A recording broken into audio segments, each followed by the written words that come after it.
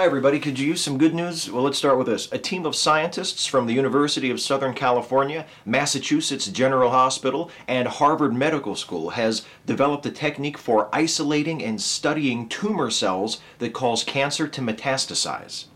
The team, led by Min Yu, a stem cell researcher at USC, was able to isolate breast cancer cells in the bloodstreams of six patients. The cells were then grown and studied in a laboratory where researchers used them to identify mutations and test drugs in order to find the best possible treatment for a given patient. This technique, the details of which were published last week in the journal Science, if refined and put into common use, would allow doctors to not only track the progress of cancers more precisely, but also design more personalized therapies engineered to fight particular cancers in individual patients. Next up, a new study of how the brain functions could lead to better understanding and more effective treatments of severe mental illness. The study, recently published in the journal Neuron and led by Rutgers University Newark neuroscientist Michael Cole, observed the brains of subjects using fMRI and found that the brain's operations are the same whether active or at rest. Prior to this study, it was thought by some that the brain actually reorganizes itself for different tasks, which would greatly complicate the task of understanding the brain dysfunction underlying mental illnesses like bipolar disorder and schizophrenia.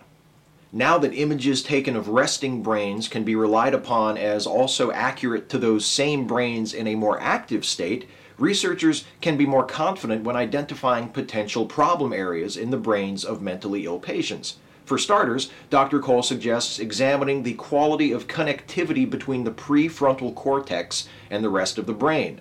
It goes without saying that this research is still at an early stage, nonetheless, a new reason for optimism in the battle against mental illness. And finally, astronomers have found that rare astronomical events called ultra-long gamma-ray bursts may be able to provide us with insights into the ancient history of the universe, including what the first stars were like. Led by astronomers with Italy's National Institute for Astrophysics and using data from NASA's SWIFT spacecraft, a team of researchers studied an ultra-long gamma-ray burst that was detected in late September 2013.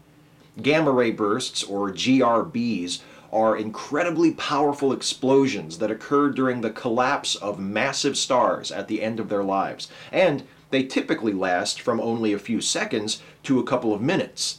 The GRB monitored last September, designated GRB 130925A, lasted nearly two hours. The most likely sources of ultra-long GRBs are blue supergiants, stars 20 times as massive as our Sun that contain mostly hydrogen and helium with only tiny amounts of heavier elements.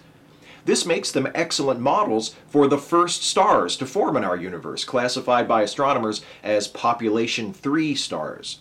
The more researchers learn from stars like the one that produced GRB 130925A, the better the chances that they will one day be able to find and study actual population 3 stars, which so far have never been directly identified. Metastasizing cancer cells are found and studied. A new understanding of how the brain works could help improve the treatment of severe mental illness, and astronomers use a dying star first detected last year to learn more about the universe's first stars. That's the good news.